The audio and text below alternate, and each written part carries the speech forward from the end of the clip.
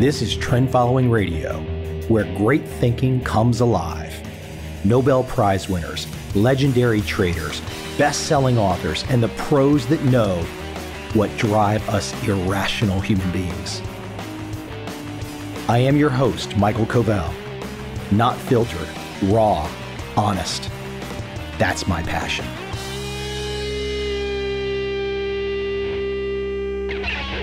My guest today, a repeat guest, a good friend, somebody I talk to regularly, but I don't often put those conversations on the show. And I know he was comfortable with me sharing this conversation. So here it is. Today, my conversation is with Larry Hite. Larry was originally profiled in the book The Market Wizards by Jack Schwager. Larry also has a book called The Rule, came out a few years ago. He is a trend following trader. He is a legendary trend following trader. And I hope you enjoyed this conversation.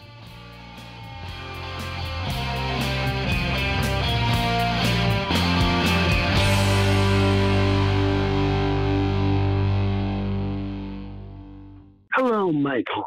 Hey, Larry, how are you? Well, I'm sad and glad. I was going to write a book about losing and the benefits of losing. I was going to make up funny names for all the actual people I know or know of, was close enough to really know them, who lost a lot of money. It was very interesting. I took everybody's story that I knew. You've read William O'Neill, right? I've not interviewed him, but I know of him, yes. You never will interview him. Oh, is he gone? Well, he's halfway gone. He's got dementia. Ah, okay. But anyway, O'Neill tells his story. There's this guy, Dreyfus. And Dreyfus had like a $15,000 stock fund. And every year, he was doubling the return of the whole industry. Right? If they made 30, he made 60. O'Neill lays out a chart of every one of those stocks. And these were his words. Every one of those stocks made a new all time high. Not some, not a few, not mostly, but all of them. I have found that, and I've known this, but I don't know how, it's a very simple to make money in the South, in any kind of market, provided you have the, in my case, the laziness to follow a system, or, you know, somebody gets a loan. I went to everybody. They either got into a business where they were picking up pennies on railroad tracks. Yeah, the long term capital management guys. Yeah, among others. There's this train coming. You jump in, you get the pennies. Now, I'm not saying that everybody dies when they do this. Pretty close to it. Those guys died. That's one thing. They were right a lot, but wrong for big, for also a lot.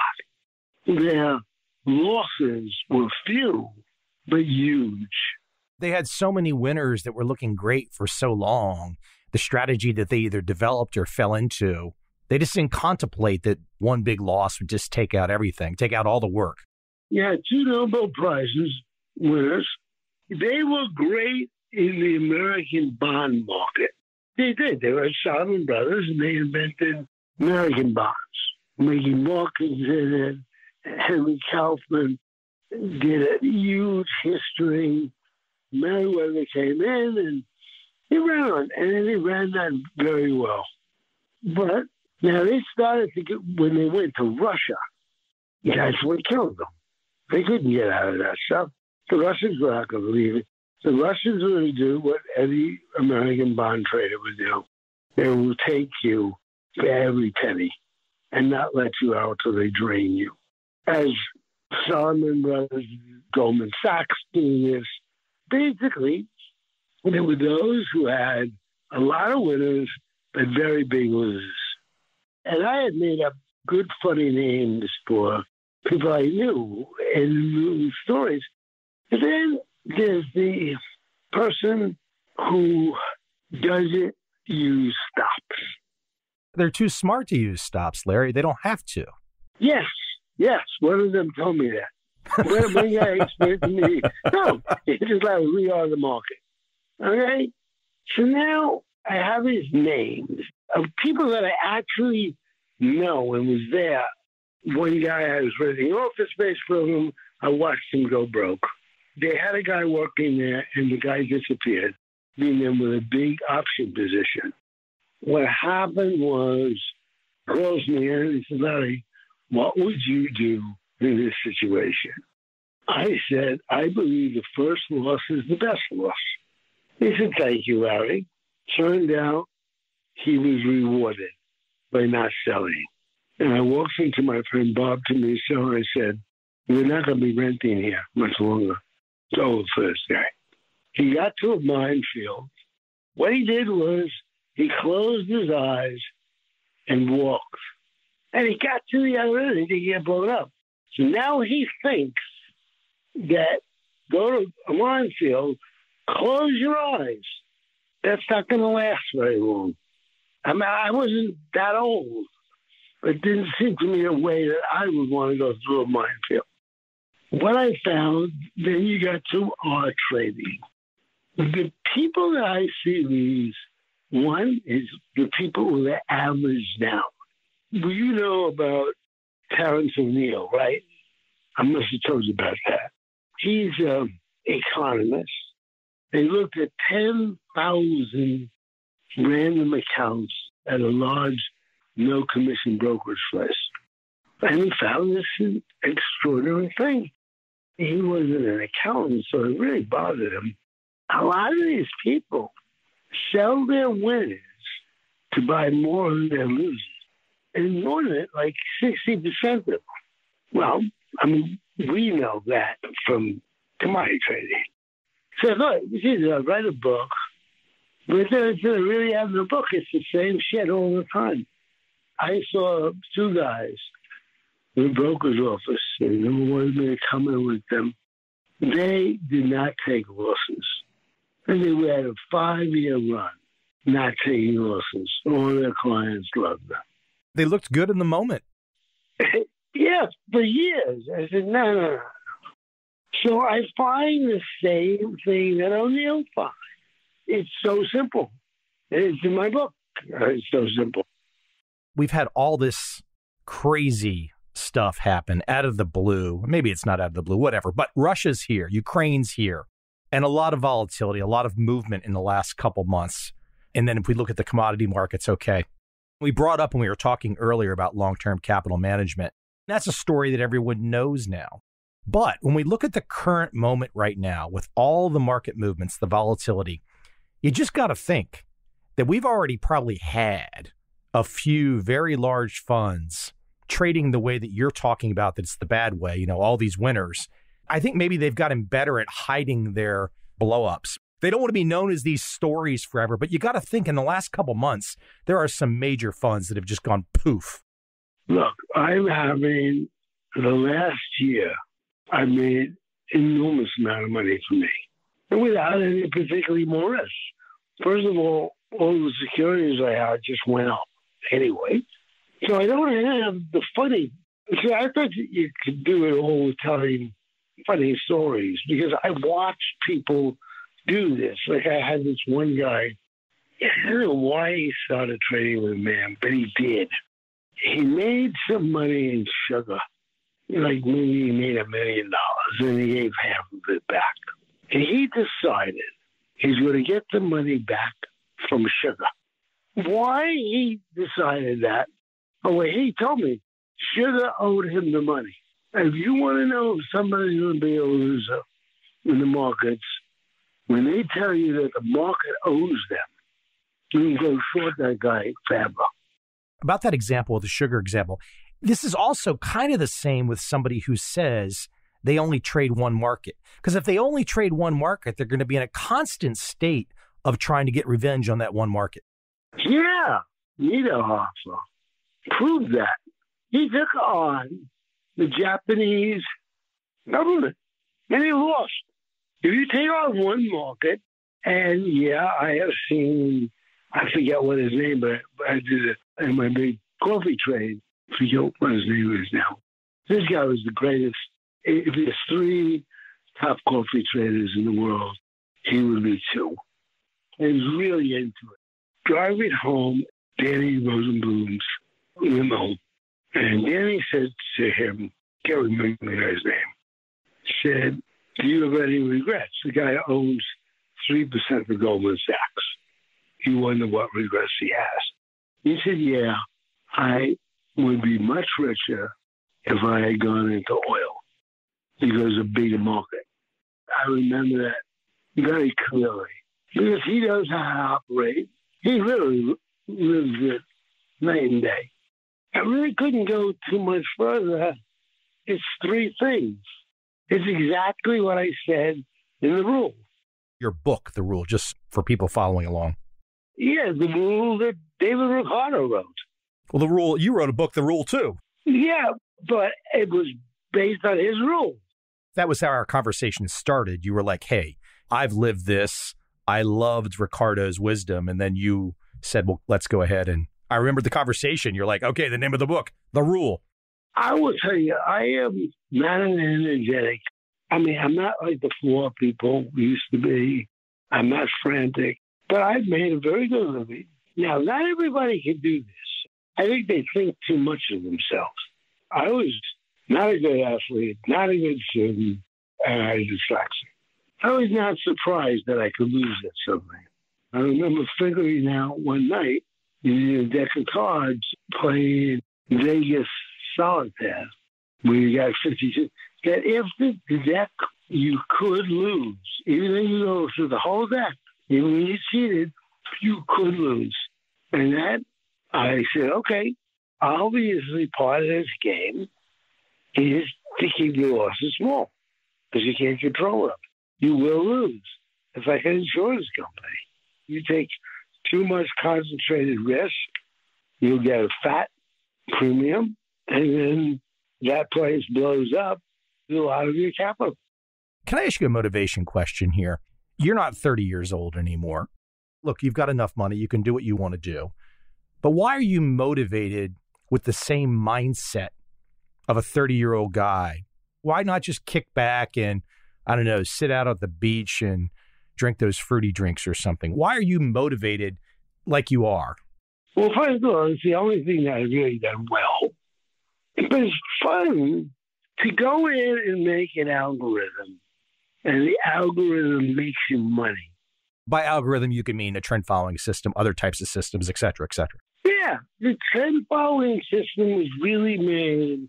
The trend following system is the surest way to make money stocks or anything else. I shared a story of yours recently with someone that was texting with me. They were all focused on entry. And I shared the story of you telling me about the random entry system that your firm made and that it did really well, maybe even better than the regular system, but you couldn't use it because then you would have to tell clients in the fund that you were using a random entry f- system that just would not compute. Maybe they would think you guys were crazy or not putting in the work or something. They would not understand. Well, the young man who did that to me, first day he got there was Alex Raisman. We still go back to that.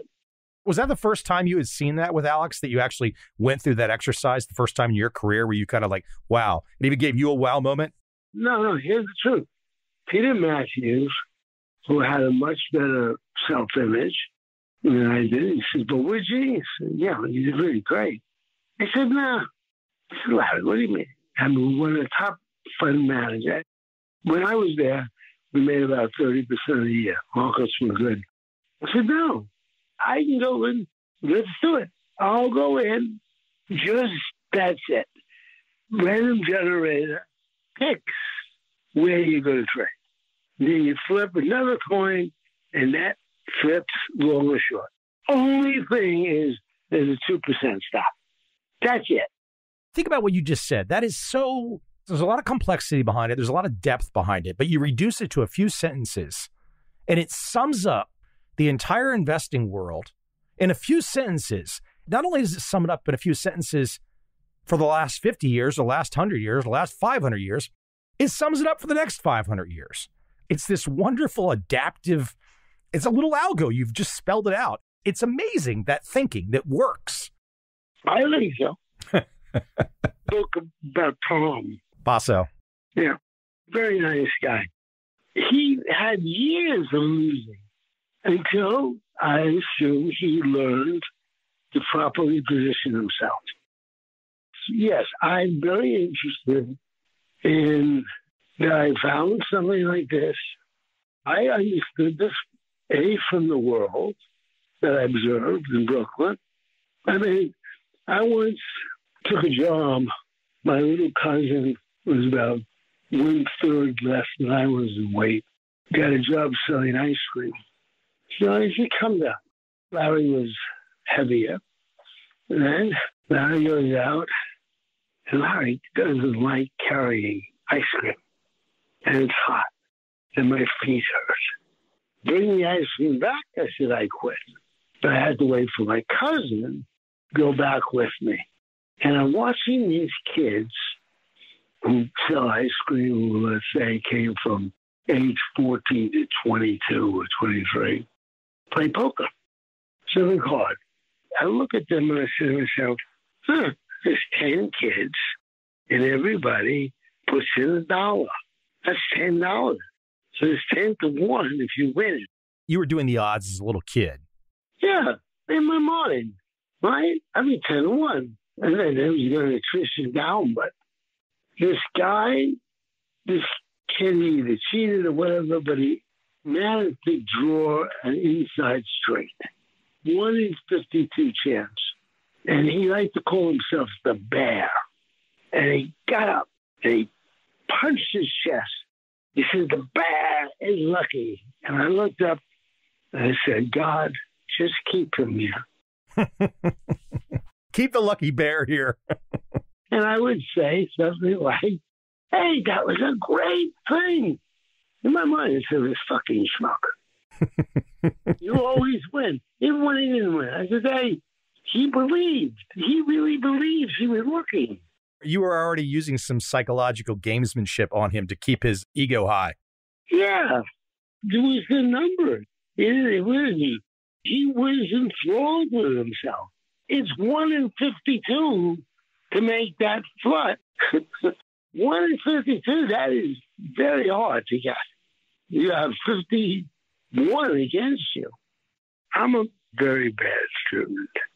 You weren't really a bad student. You just didn't care about memorization games that they were teaching and boring classes and all that kind of stuff. You were always a smart guy. You just didn't care about the bullshit.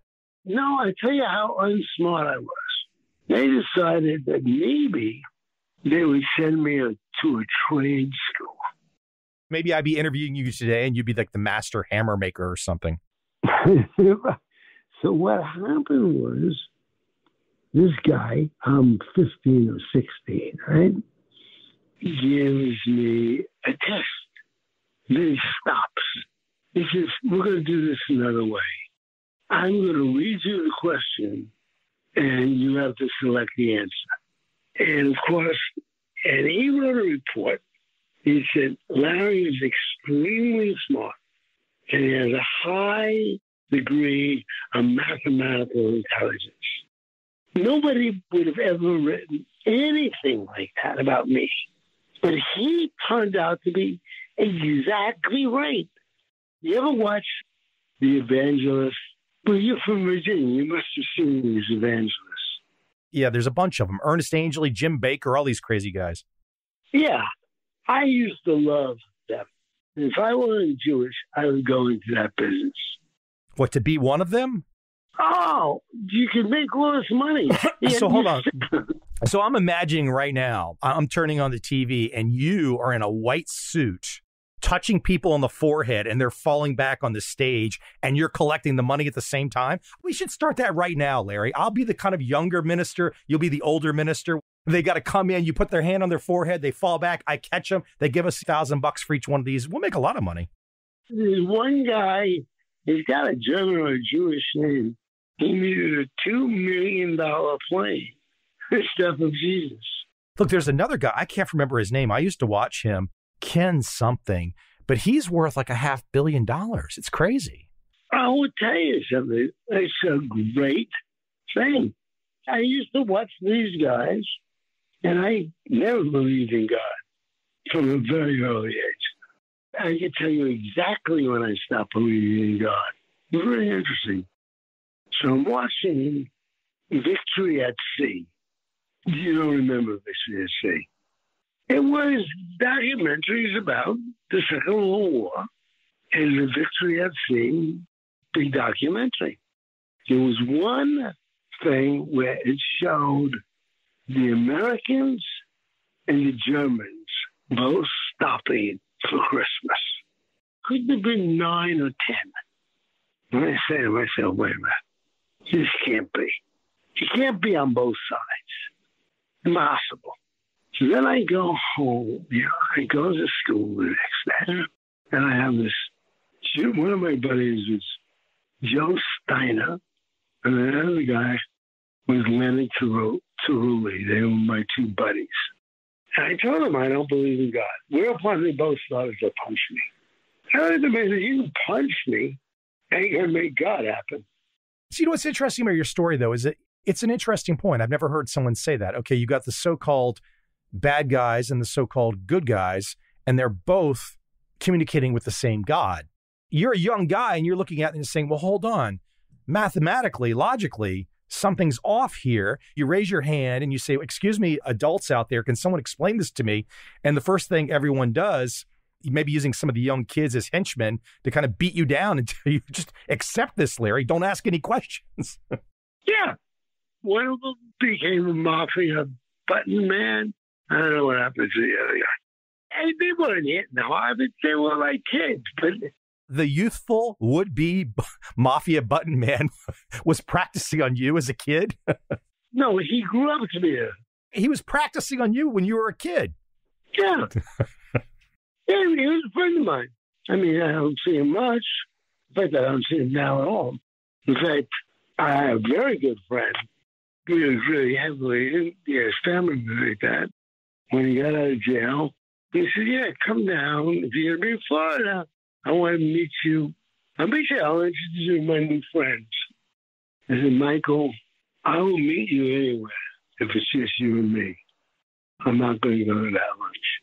Yeah, he and I have not spoken since. Because I figure, once again, these people are watched. What do I want to be watched?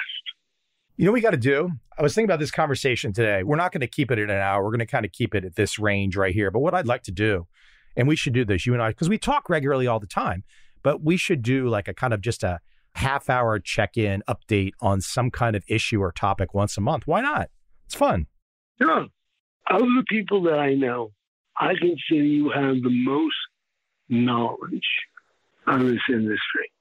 I know that somewhere, you wouldn't say where, you have your money working this way. You don't have to tell me who or what, but I know that all I'll say is when you're in this enough, your whole life becomes this way of thinking. You don't worry about trying things as long as they're calculated, taking certain risks. The whole thing of life, you could have very well likely have had the same strategies early in your life, and maybe you would have made 50% less money or 75% less money. That still would have been a huge amount of money.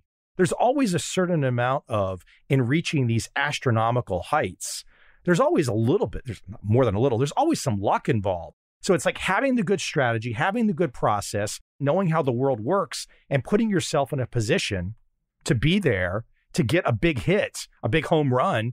You even said this on this conversation, but that's what you're still motivated by. You're kind of like, well, why not? I'm still alive. Let me keep taking swings. Maybe I'll hit another home run. Why not? Well, I have this year. And I've also noticed if you have half a brain volatility is your friend. Well, I've got a lot of volatility right now. And that's why I, in a year, just doing shit. What a fun. I have no longer remain. I'm just happened to be. I quit it. And I took a lot of my money out, but I kept some money in.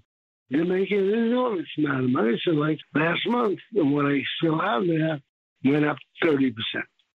I have and you have a pound few, the people we see basically are all winners.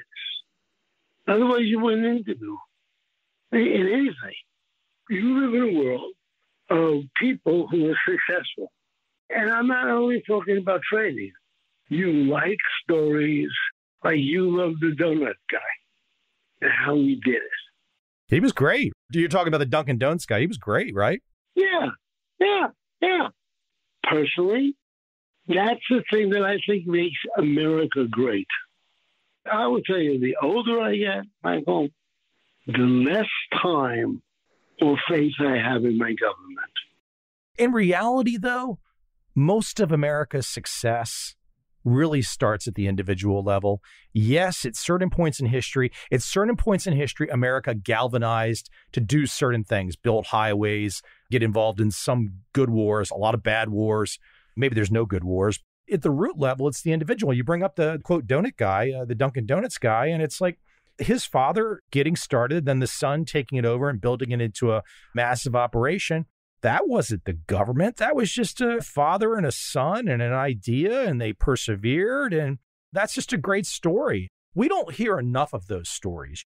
I tried to get the people at Aspen Institute, I was willing to back a seminar of 10 black businessmen who were not in the entertainment business or sports. And I thought that would be a great thing. To shake up people's understanding of what they think. Yeah. Yeah. For instance, all right, you know the rule, I know the rule. Now, I will tell you, and tell me if I'm wrong, you know all these people's records. You might not know them real well, but you know their records. You've been studying them for years. That rule, David Ricardo's rule, every one of them uses that rule. Would you say that's right or wrong? Yeah, of course. Let's say you're a brand new person. You don't know anything about investing. You kind of stumble into some trend following world and you're like, okay, well, this guy was in London and this guy was in New York and this guy was in Southern California and they don't know each other. And they're all, quote, trading and they're trend following traders. They've got this rule about taking a loss, you know, having a stop. It seems so simple. I think a lot of people just can't imagine that there's this consistency that these people that developed and existed independent of each other, which is I find one of the most amazing things is this real independence of each other. I mean, I've had a bunch of people on where I've really pressed them, well-known names, and I'll say, "Well, did you read about Donchian or something?" Well, not really. I kind of found out about that later. I was just doing my own thing.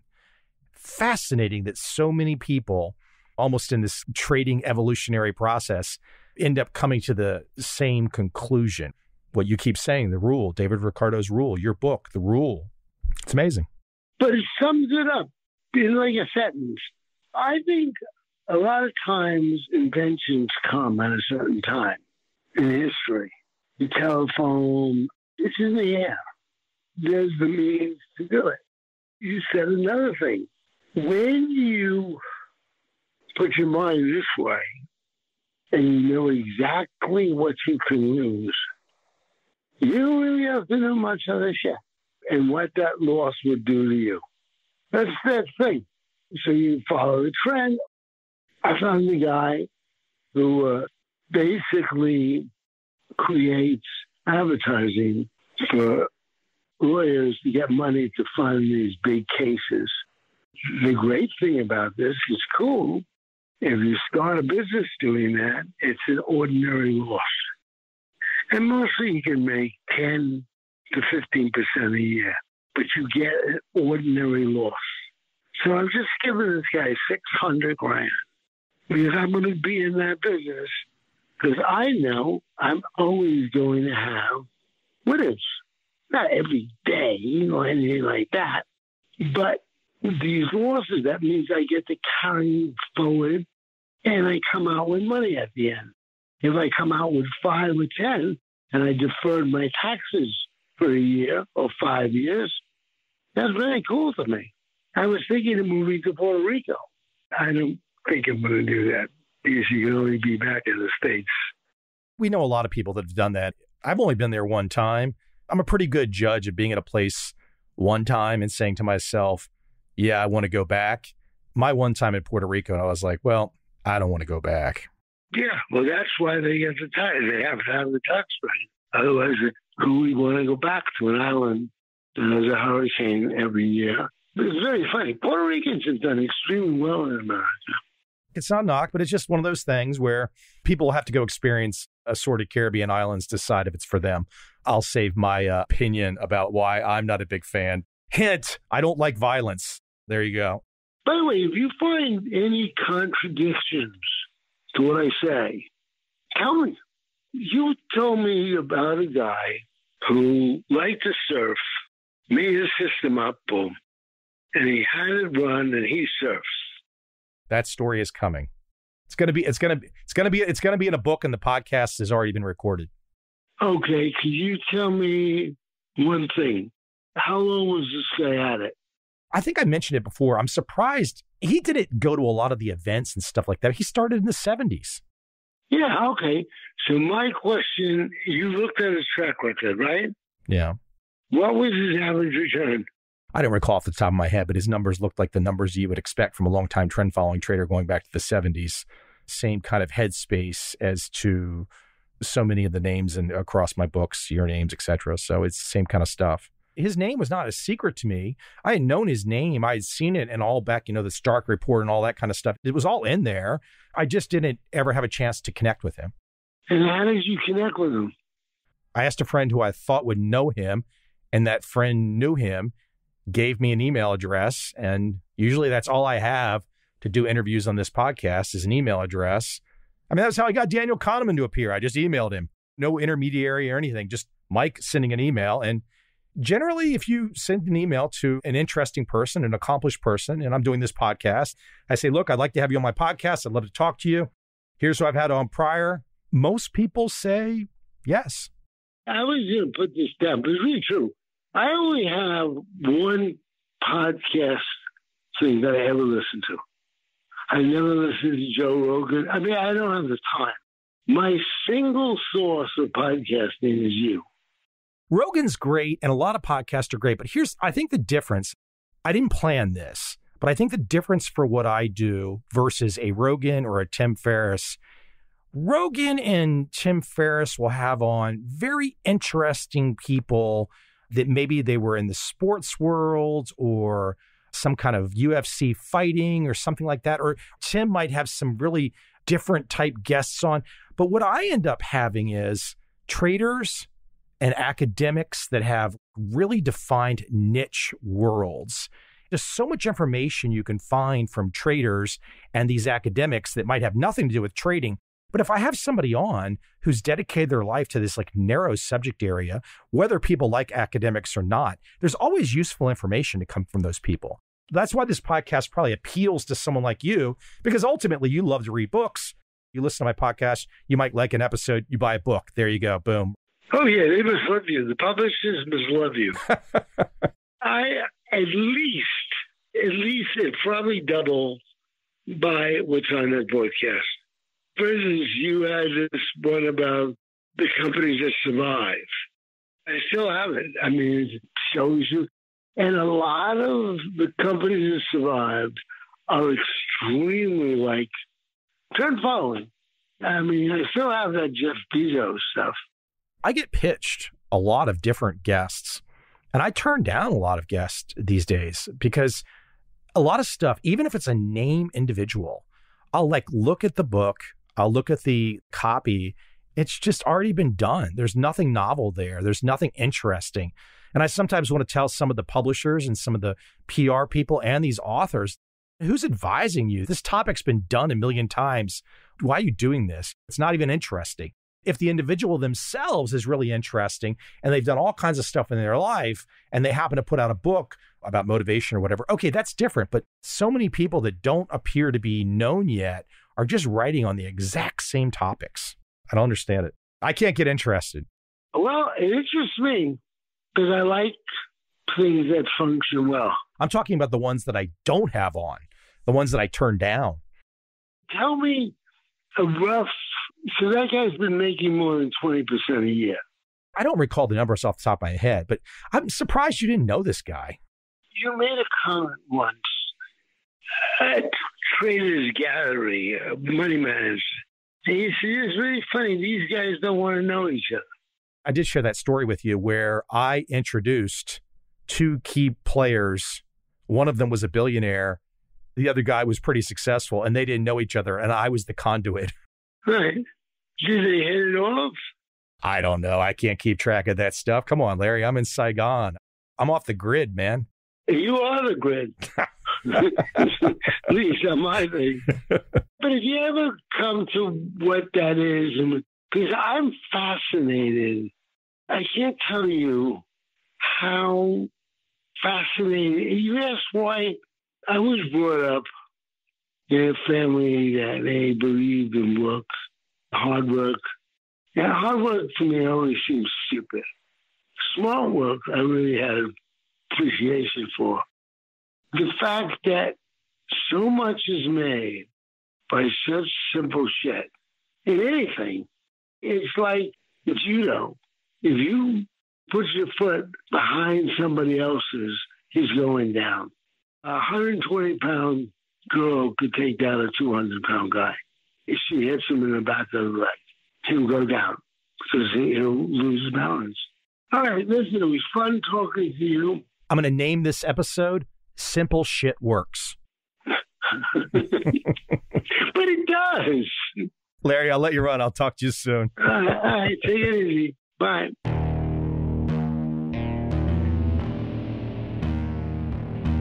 I see a time when those awake will understand how to make money in up, down, and surprise markets. Whether new trader or experienced, college student or financial advisor, protecting against a crash or just trying to make a lot of money, trend following offers everyone an answer in uncertain times. To get started immediately, send me an email, michael at covel.com. I will send you the right trend following steps to take along with my free video. But if you want to buy and hold, trust the government and trust Wall Street, this is absolutely not for you.